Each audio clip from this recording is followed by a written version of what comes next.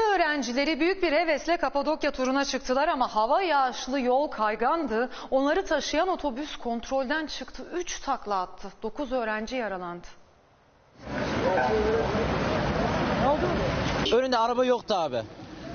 Ee, sonra frene bastığı için araba yapaladı böyle. Ama duramadı, takla attı. Sonrası da bu. Korku ve gözyaşı.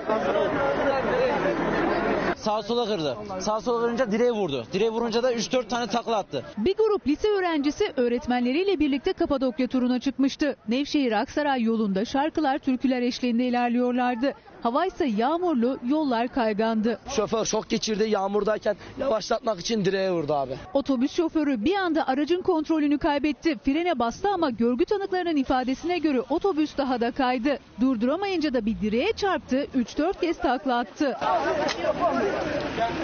Kızlar bayıldı birkaç kişi. Üç kız bayıldı, dört kız boynundan yaralandı. Olay yerine çok sayıda ambulans gönderildi. Kazanın etkisiyle şok geçiren gençler güçlükle sakinleştirildi. Kazada yaralanan 9 öğrenci çevre hastanelerde tedavi altında.